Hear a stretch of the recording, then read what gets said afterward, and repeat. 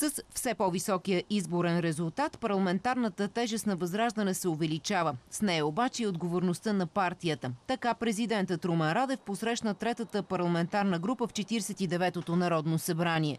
Формацията от своя страна заяви готовност за управление.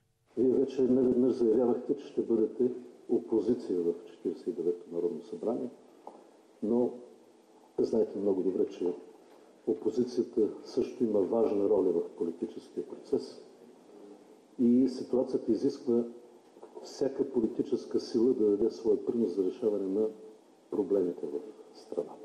Не знам кой ви е казал или ви е заводил, но никога не сме заявявали, че ще бъдем опозиция в 49-то Народно събрание. Напротив, ние сме готови да управляваме, защото, както казахте, отговорността ни се повишава.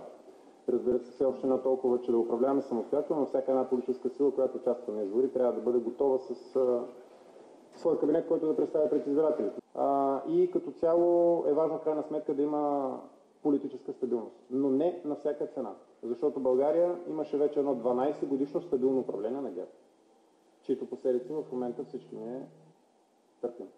Основният приоритет, освен бюджета, е влизането на България в еврозоната, според Радев, което се явява препани камък между Възраждане и първите две политически сили. Костадинов отбеляза, че от срещите на ГЕРБ СДС и продължаваме промяната Демократична България до този момент има само намерения, но не и реални действия по законодателството. Ние сме готови да разговаряме с всеки. Ето, само преди няколко дни посрещнахме в нашата стая по негова молба Бойко Борисов и разговаряхме.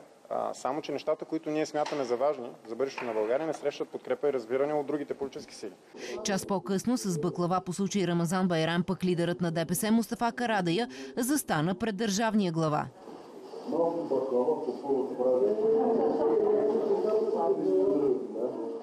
Колко време според вас е необходимо за приемане на бюджет? Трябва да бъдем реалисти.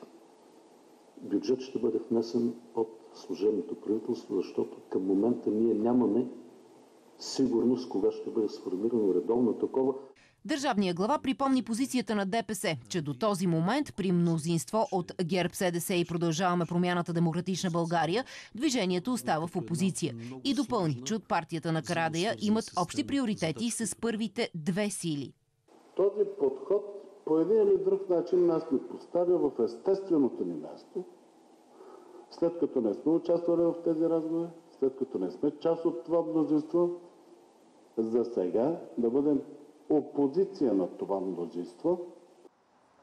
Карадея критикува първите две политически сили и остава скептичен, че ще успеят да съставят правителство. В ранния следобед на Дундуков 2 дойдоха и БСП. Според Корнелия Нинова, правителство на мълцинството ще доведе страната до нестабилност. Не бихме подкрепили правителство на ГЕРБ. С продължаваме промяната.